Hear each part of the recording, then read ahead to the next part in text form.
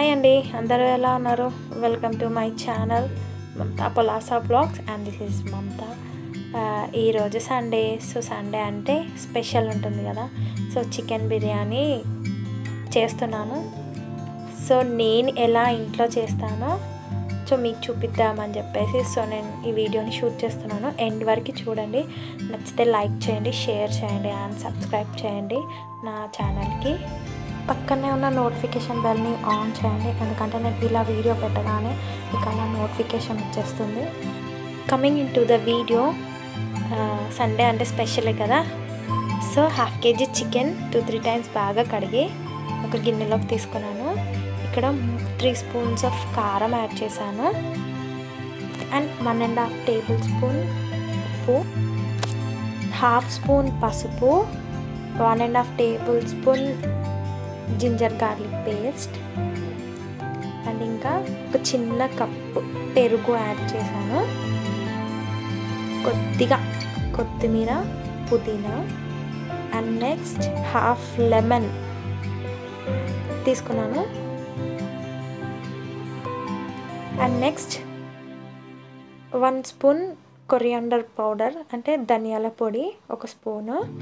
And ఇంకా బిర్యానీ మసాలా చూపిస్తున్న size స్పూన్తో one and half tablespoon తీసుకున్నాను.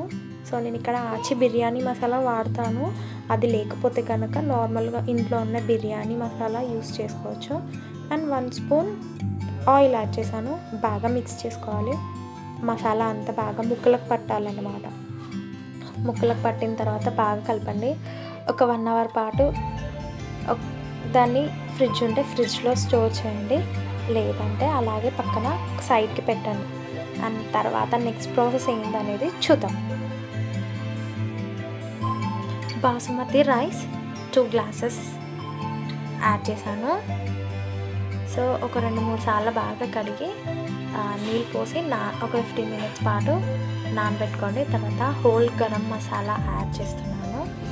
అండ్ వన్ స్పూన్ ఉప్పు అండ్ కొద్దిగా ఆయిల్. సో ఇది ఒక సెవెంటీ ఫైవ్ పర్సెంట్ కుక్ అయితే చాలన్నమాట. సో అన్నం ఉడుకుతుంది.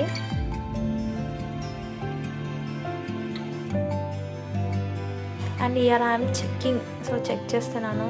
సో అయిందనమాట సో దెన్ నేను అన్నం వాటర్ అన్నీ తీసేసి సో ఫిల్టర్ చేసి ఒక హోల్స్ ఉన్న గిన్నెలోకి ట్రాన్స్ఫర్ చేస్తున్నాను అనమాట ట్రాన్స్ఫర్ చేస్తున్న హోల్స్ ఉన్న గిన్నెలోకి ఎందుకు అంటే ఎక్స్ట్రా వాటర్ అంతా అది కారిపోతుంది కిందకి అని చెప్పేసి. రైస్ అంతా ఇలా ఒక పక్కకు పెట్టుకున్నాను.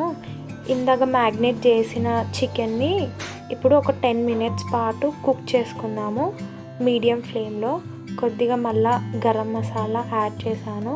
సాజీరా ఒక చిన్న సైజ్ చెక్క లవంగ అండ్ ఫ్రైడ్ ఆనియన్స్ బిర్యానీ ఆకు ఇవన్నీ వేసి సో నేను ఒక టెన్ మినిట్స్ కుక్ చేసుకుంటాను.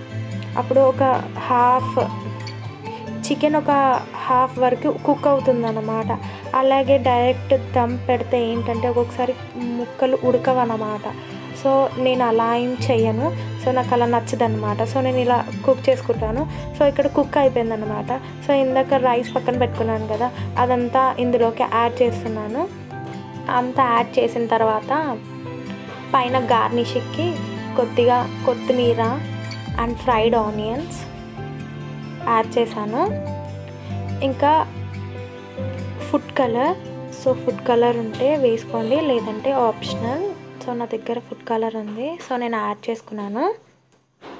అండ్ లాస్ట్లో ఇలా సిల్వర్ కాయిల్ పేపర్ ఉంటే కవర్ చేసుకోండి. లేకపోతే లీవ్ ఇట్ ఒక గాలిపోకుండా ఇలా మూత పెట్టి పైన బరువుగా ఉండడానికి ఏదైనా పెట్టండి గాలిపోకుండా సో నేను ఇలా సిల్వర్ కాయిల్ని మొత్తం కవర్ చేసేసుకున్నాను.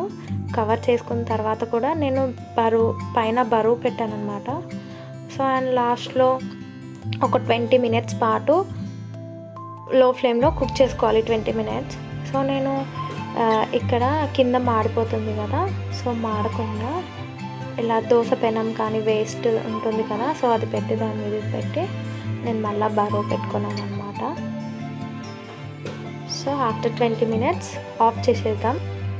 అండ్ ఓపెన్ చేస్తున్నాను. ఇంకొక ప్లేట్లోకి తీసుకొని ఇంకా తినేసేయాలి. మీరు ట్రై చేయండి ఇలా ఎలా వచ్చిందో నాకు చెప్పండి. ఈ వీడియో మీ అందరికీ నచ్చిందని అనుకున్నాను. నచ్చితే కనుక ఒక చిన్న like share and subscribe to my channel care, keep smiling, and bye bye.